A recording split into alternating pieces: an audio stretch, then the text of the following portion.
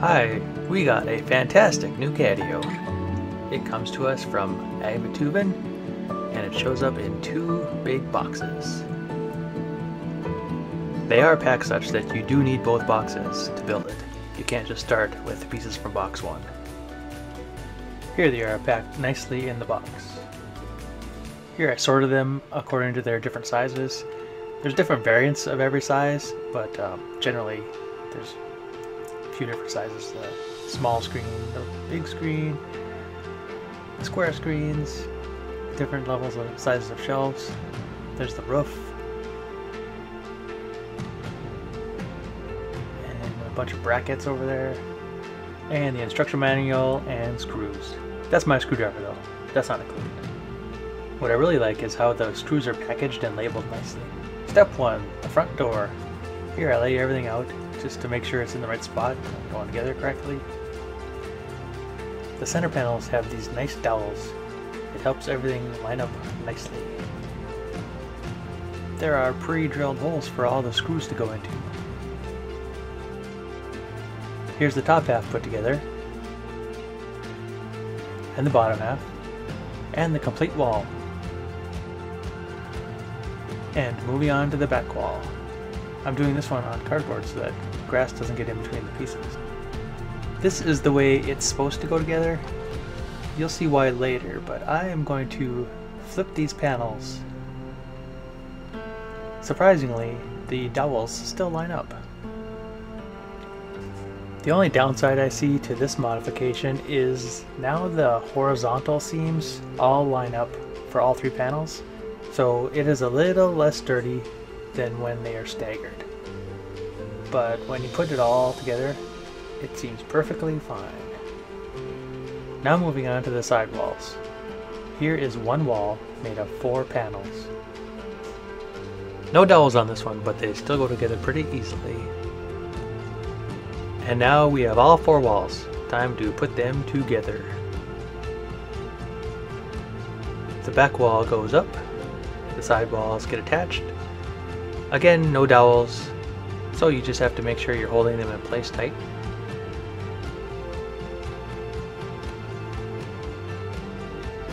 Now we have a freestanding structure with three walls Now let's take a moment to look at the back door, which is supposed to be on the top, but now it's on the bottom. One side effect of this is that the latch is now upside down, which means you can kind of jiggle it loose. If you wanted to fix this, all you have to do is take off the latch and flip it upside down. But this isn't going to be a problem for us. And now we go back and put in the shelves, which was supposed to be done while the walls were being built, and they were separate, but I figured it'd be easier to do it when the walls were standing up. This does turn this into a two-person task, but technically this is a two-person build front to start, so...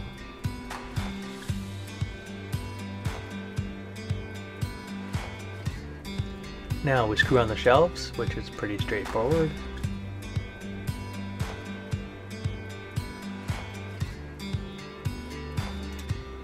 Next up, we have a couple of shelters that will be going inside. They're essentially open-ended boxes, which cats usually love.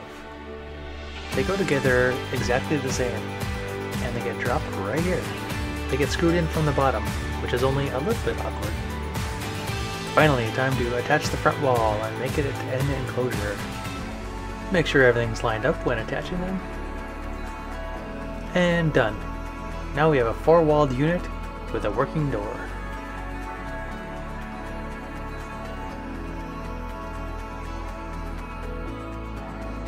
With a slight learning curve on my part.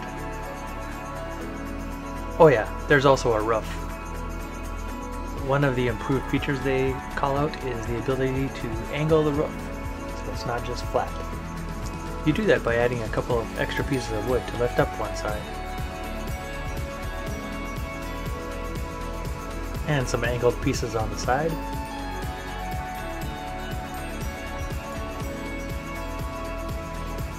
And the actual roof, which comes in three pieces. No dowels, but they do have these marker pieces that let you line them up in the corners nicely. they have an asphalt type covering on the top, which makes it look nice and waterproof. They even have a couple of pieces of wood to put over top of the seams, just to make sure the rain stays out.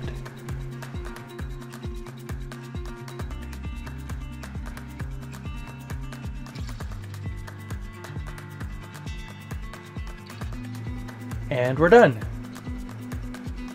Wait a minute, there's something missing. We forgot one last shelf. There we go, that's better.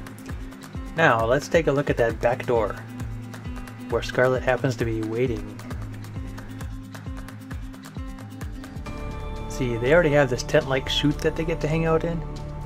What we're to do is connect them that way the cats can come and go whenever they like. We added an extra piece of wood on top just because there's a little bit of a gap that we didn't want to leave open. There you see it all connected. All we need to do is open the window and they can run out of the house, through the tunnel, into the brand new catio. This cube turns into an entryway where they can go in and out of these side holes. Now let's see how the cats like it.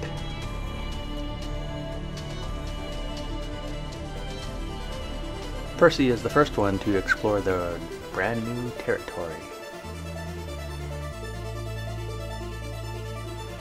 Going in very slowly and deliberately.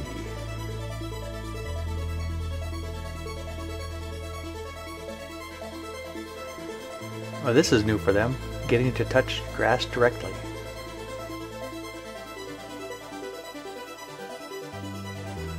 Prior to this, they only really got to touch it through the tent.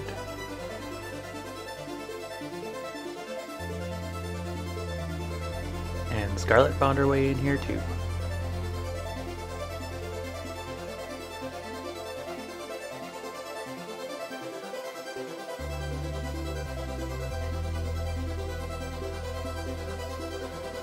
Oh, I see Beans on his way in here too. Cats love new areas to explore, so I am sure they are enjoying this.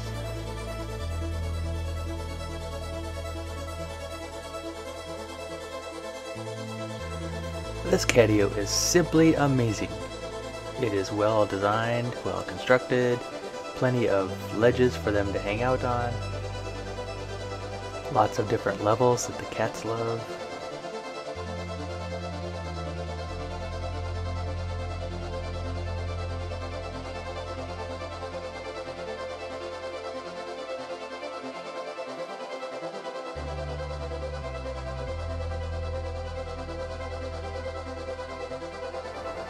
Coincidentally, this got completed on Scarlet's birthday. So, it's as if she's having a birthday party out here, with all her friends. It's her third birthday.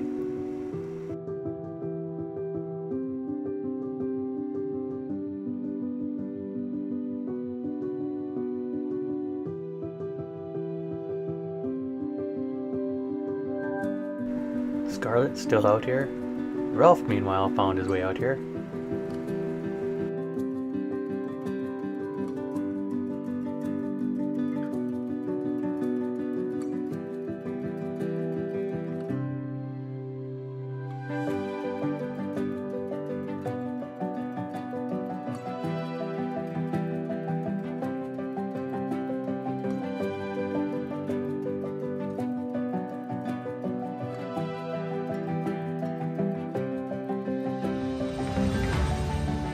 Don't think I can express just how much these cats seem to love their new catio.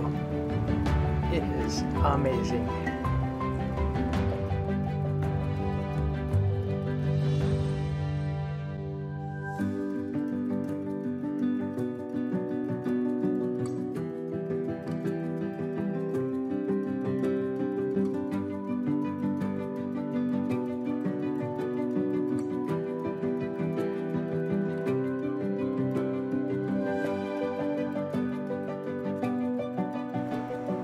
Beans gets to eat grass for the first time. How's that salad tasting?